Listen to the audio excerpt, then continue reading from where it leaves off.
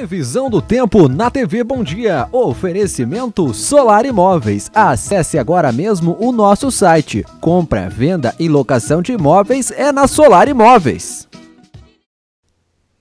Uma forte massa polar vai atuar sobre a região sul do Brasil nesta sexta-feira.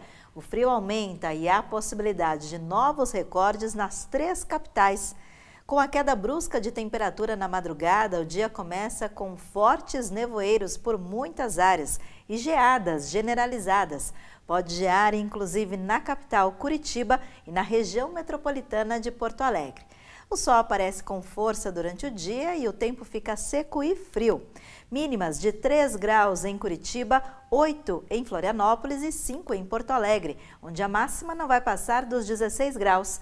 Máxima prevista de 17 em Curitiba. Previsão do tempo na TV Bom Dia. Oferecimento Solar Imóveis. Acesse agora mesmo o nosso site. Compra, venda e locação de imóveis é na Solar Imóveis.